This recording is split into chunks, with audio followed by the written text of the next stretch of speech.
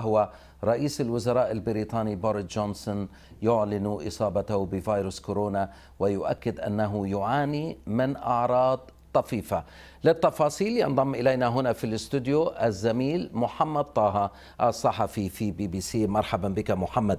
ما الجديد الذي نعلمه حتى الآن عن إصابة جونسون؟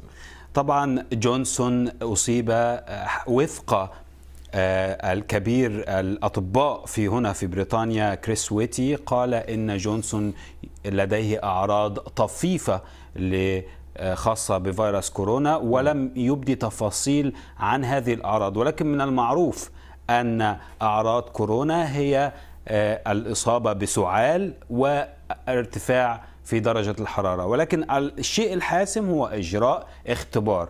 وعندما خضع بوريس جونسون لهذا الاختبار في مقر إقامته في 10 داونينج ستريت تأكد أنه يحمل فيروس كورونا وقد أعلن كبير الأطباء أيضا أن بوريس جونسون يجب أن يخضع لفترة العزل الذاتي لمدة أسبوعين. وسيقضي هذين الأسبوعين في مقر رئاسة الوزراء البريطانية. قال إنه سيظل يقود أعمال الحكومة البريطانية في مواجهة فيروس كورونا. ولكن هذه الإصابة حمدان تضع أسئلة كثيرة حول ما سيحدث فيما بعد.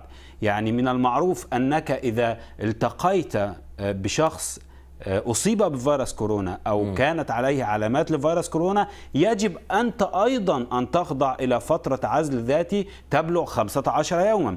هل ذلك سيشمل كافة أعضاء الحكومة البريطانية سيعزلون أنفسهم لمدة 15 يوما وعلى رأسهم ريشي سوناك وزير الخزانة البريطانية الذي شوهد مع بوريس جونسون يوم الخم... مساء الخميس يعني مساء منذ ساعات منذ ساعات وخارج مقر رئاسة الوزراء البريطانية حيث كانوا يتباحثون أمورا خاصة بمكافحة الفيروس. وفوق كل ذلك صديقة بوريس جونسون التي تقيم معه في عشرة داونينج ستريت هي حامل حاليا.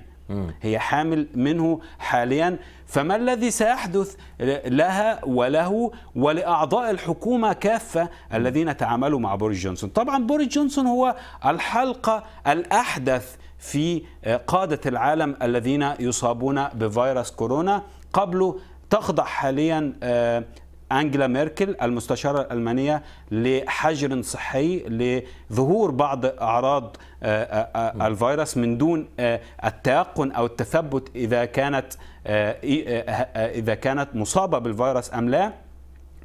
الرئيس الأمريكي دونالد ترامب هناك دعوات كثيرة كانت تطالبه بإجراء اختبار لمعرفة إذا كان لديه فيروس كورونا أم لا.